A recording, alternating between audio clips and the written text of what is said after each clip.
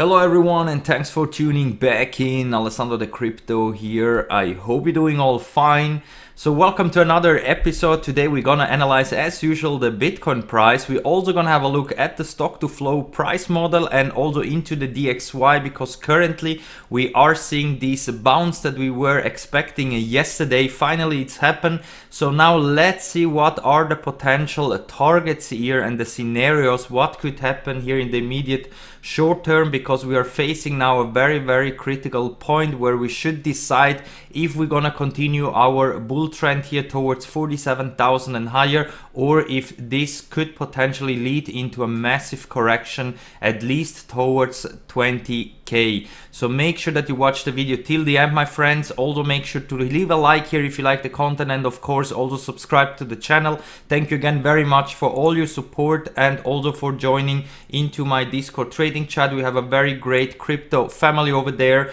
And of course if you want to get access also into my own indicator which is giving you buy and sell signals for bitcoin then this is the place where you can contact me. For a little donation you can get access to the live stream on discord. All right my friends so now let's start straight into the content because this is very time sensitive and i try to make the video as quick as possible so that you can watch it in time because currently it is very important that if you don't have any cash on the sideline if you are not prepared for a possible dump towards 20k that you maybe think about to take at least a little bit of profits out if you are in profits right now just to be flexible and ready in case that we're gonna see the scenario that we're gonna drop to 20k that you're able to buy the dip and you're not going to panic sell or anything like that because if we're starting to drop hard towards 20k this is going to be very tough to hodl so make sure that you can stay calm if we're gonna see a big drop but also you can stay calm and not FOMO in if we're gonna just start to moon rocket here towards 47,000 and potentially even higher.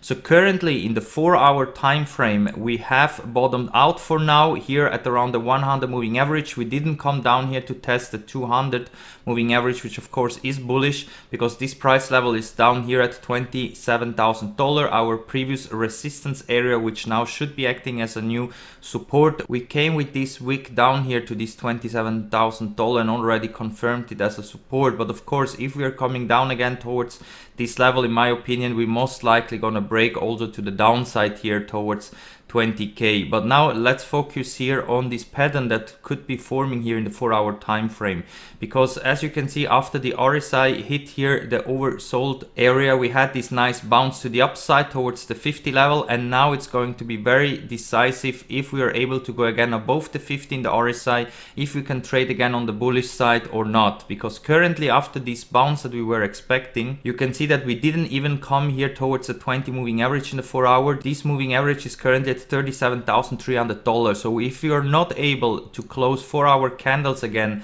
above the 20 moving average, then I think we could be in a potential bigger correction towards 20k and we would confirm the downtrend here in the 4 hour time frame. We got here a buy signal in my own indicator so this was the perfect long entry if you wanted to take this trade but be very careful if you're sitting right now in a long position because there are two big warning signs one here in the 4 hour and one also in the daily time frame. So next to the fact that currently we're still trading below the 20 moving average and as long as we're not seeing at least a one or two four hour close above this moving average which could take us again towards higher highs. We also are potentially creating here a possible head and shoulders pattern in the 4 hours. So if here we're gonna just trade sideways and also create lower highs. So if we're not able to take out these highs over here, then we could potentially form this head and shoulders pattern in the 4 hour. It is still too early to tell, but in my opinion, if we're just starting to trade sideways here, it is very likely that we could form here the right shoulder and now we're gonna see what could be the potential target of this head and shoulders pattern here in the four hour time frame. Because currently as you can see we have a support here between 31 to 30 thousand dollar. And if we would really create this head and shoulders pattern in the four hour the target measurement would be this one over here from the top that we had at 42 thousand dollar and the support that we have currently at around 30 to 31 thousand dollar. And let's say if we break out here to the downside this would take us straight towards 19 thousand dollar which is is of course also coinciding with the old all-time high here of 20k and also our potential bearish target here if this is going to play out. Because also remember that this is the price level where also the 20 weekly moving average is lining up and that's why I think it is very very realistic that if we're gonna form here this head and shoulders pattern we could potentially see here a huge sell-off towards this 20k area and this is where I'm gonna go again all in into Bitcoin and also stack in some nice long positions. It is also possible that we could see some wicks below towards $18,000, maybe even $16,000. But I think this area over here at around 20k, if it's gonna be tested again, will hold as a very strong support. And I don't think that Bitcoin will go way lower than that, at least not for the long term.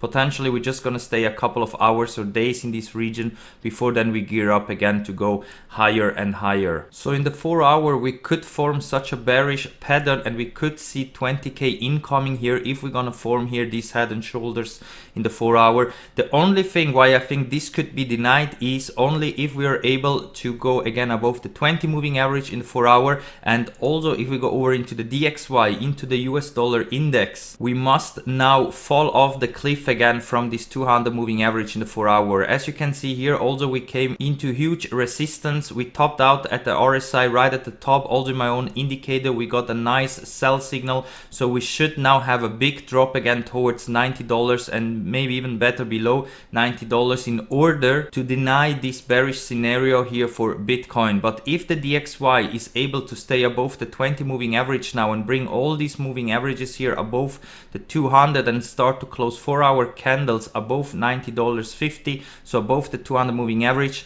in the DXY we could maybe see a short-lived pump here which could take us even towards here the 50 or 100 daily moving average at around $92 and in the worst case for Bitcoin even up here towards the 200 daily moving average which currently is at 95 dollars. So that could lead into a massive massive drop in the bitcoin price and overall also in the stock market if the dxy somehow is able to push higher here to the upside. So let's hope that is not the case but be prepared that that could happen since the dxy was just falling off the cliff for many days and weeks right now. So a possible pump there is always in the cards, at least a short-lived one, because the DXY is still in a bear market, still in a downtrend, even if it would pump up towards the 200 daily moving average. Latest there, I'm expecting the DXY to top out and then again fall lower and lower. The problem is only that for Bitcoin that would mean that we're gonna see this possible bigger correction incoming if the DXY is really able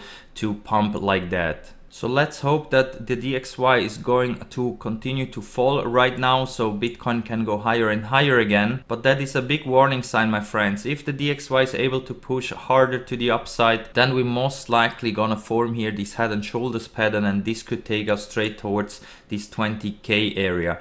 So this is the time where we have to monitor the Bitcoin price 24 7 my friends because it's going to be very important where we're going to close the next couple of 4 hour candles and also daily candles because we have now big warning signs that we could be in here for a major drop to the downside as well. Of course, it is very bullish if Bitcoin can take out this 42k again and go higher and higher, but currently there are some big warning signs ahead of us that we definitely shouldn't ignore. And the next one is right here in the daily time frame because with this correction, this is now the first time that we close a daily candle below the 9 daily moving average. So we closed right now below $37,000 and if today we're gonna confirm that the 9 daily moving average uh, is our new resistance resistance. So if today we're not able to go again above this moving average, so above $37,000, then this resistance could be confirmed and we will most likely come straight back down again to test the 20 daily moving average right here at $32,300,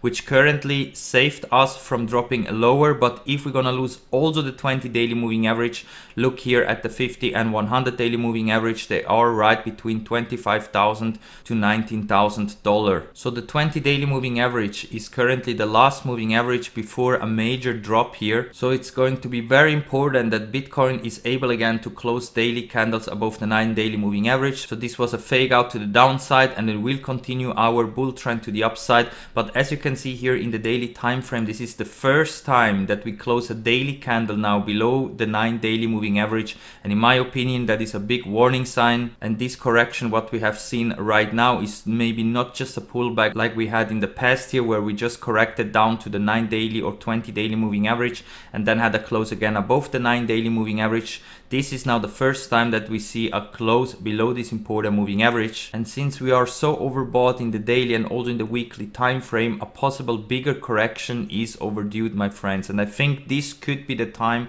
where we're gonna see here maybe a last bigger correction, sub 20k, then bottom out and then create a new parabolic move to the upside, which will take us way above $40,000. So in my opinion, there are some warning signs right now that could suggest that this could be the beginning of this correction that we were waiting for so long to test also the 20 weekly moving average that is currently lining up right here the 0.618 fib retracement at $18,500 so if this bearish scenario is going to play out in my opinion if we are not able to bounce here at $25,000 where the 9 weekly moving average is lining up we will go straight towards the 20 weekly right here at 18,500 and that in my opinion will be the last cheap opportunity to buy Bitcoin because during a bull run, Bitcoin likes to retrace to one of these two important moving averages in the weekly. So even if we would see this big drop, Bitcoin would still look bullish here in the bigger picture. And that's why I'm telling you, my friends, never panic sell Bitcoin. If you want to take some profits out up here, then okay, but never sell all or never go all in. Feel always comfortable if we're going up or if we're coming down again. Because this drop towards these two important weekly moving averages can happen at any time. And also in the past, they happened already many times. The only difference now is that we had these parabolic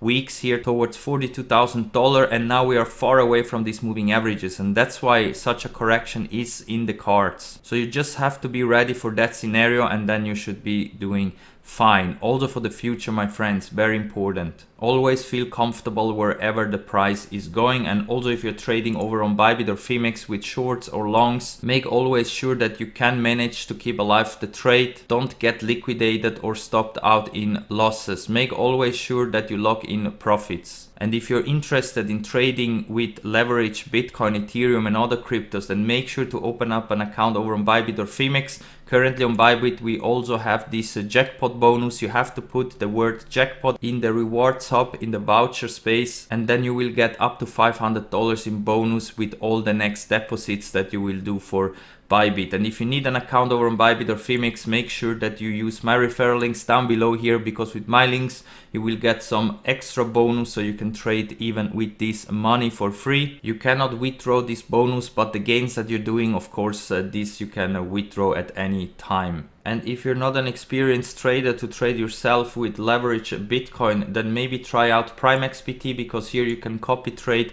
other successful traders. Here you just have to sign up with your email, put some Bitcoin, and then you can copy trade other successful traders automatically. So you don't have to do anything, just with one click you can copy successful traders. Of course that is also risky, but like that you have the chance to multiply as well your Bitcoins. And if you're completely new in the crypto space, make sure to open up right now a Binance account, Swissborg and Coinbase. With those exchanges you can buy all the cryptos that you want. And also if you use my referral links down below here, you will get also some bonus. Currently on Swissborg up to $100 and on Coinbase, you can claim some free altcoins if you have a Coinbase account. So definitely use those links down below here because you can grab there some free money. And before we wrap this up, my friends, we're just gonna have a look quickly into the stock to flow price model. We have covered that in a couple of videos already in the past. And I just want to remind you that usually whenever we are trading far away above the stock to flow price model, it is always good to take a little bit of profits out to rebuy once we're dropping again below the stock to flow price model.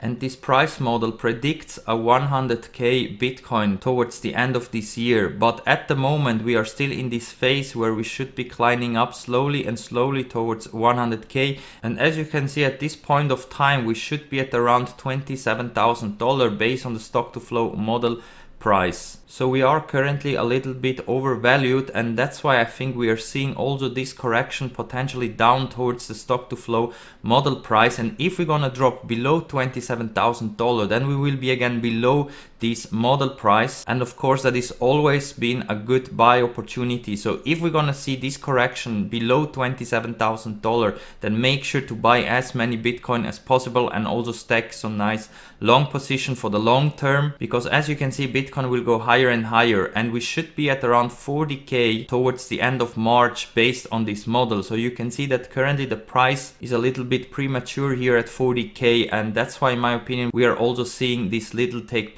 profits here potentially down towards 27 thousand dollar but I think if we're coming down to this price level we most likely also come down to test the 20k area before we then continue to go higher and higher here. So also based here in the stock to flow model price a little correction is in the cards my friends. So just be ready for all scenarios. Keep a very close eye on the next couple of four hour candles and decide yourself if you don't have any cash on the sideline if you want to take out some profits right now or if you think that no Bitcoin will go higher and higher to just hodl and ignore if we're gonna see a possible dump. But if we are seeing such a bigger correction, then take it as a good buy opportunity, a good long opportunity, and don't go and panic sell on the way down. This is now the time that you can still take a little bit of profits out if you have completely no cash on the sideline. But if we are coming down to those levels again, then this is too late. Then here you should be buying again and not selling. Keep that in mind